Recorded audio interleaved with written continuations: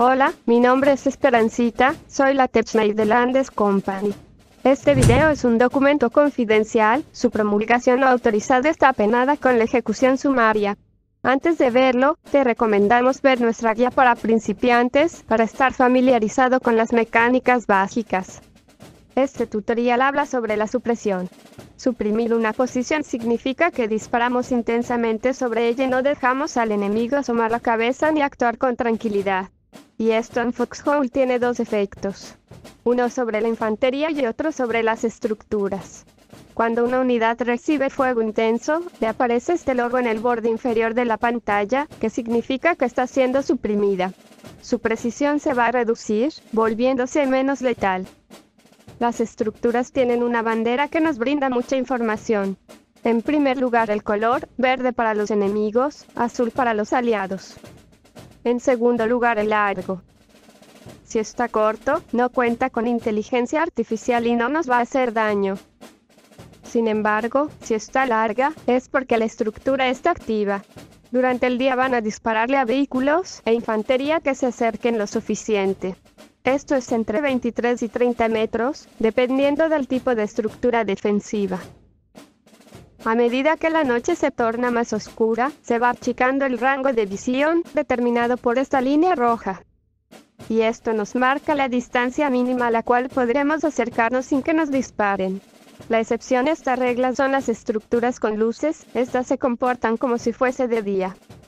Ahora bien, para suprimir estructuras tenemos que disparar sobre ella con mucho caudal de fuego. Hay que impactarlas con todas las municiones que podamos en el menor tiempo posible. La cantidad de disparos necesarios depende del tier de esta, siendo las de concreto las más complicadas de suprimir. Si logramos suprimirla, su bandera va a titilar de color blanco. Esto significa que ni la inteligencia artificial ni los jugadores dentro pueden disparar. Si no sostenemos la supresión, la estructura vuelve a estar activa luego de unos segundos. El mejor calibre para llevar a cabo esta tarea es el 12,7 milímetros. Armas como la Malone, Ratcatcher, FMG, entre otras, tienen una cadencia altísima y suprimen rápidamente. Si lo vamos a hacer con una Malone, primero conviene acostarnos para aumentar la precisión, ya que el lugar donde debemos impactar es muy angosto y necesitamos acertar todos los disparos. Esta es la superficie a suprimir. No hay que poner la retícula sobre el Garrison, porque si no los disparos van a pasar por encima. Hay que ponerla por enfrente y confirmar que los disparos impacten. Una vez suprimida, podemos bajar la cadencia de disparo para que el cargador nos rinda más.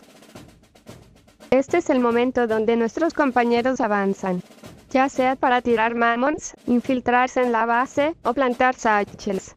Es importante planificar por dónde va a avanzar la infantería para que no se vean obligados a cruzar por la línea de disparo, ya que si dejamos de suprimir, la estructura podría activarse y matar a todos.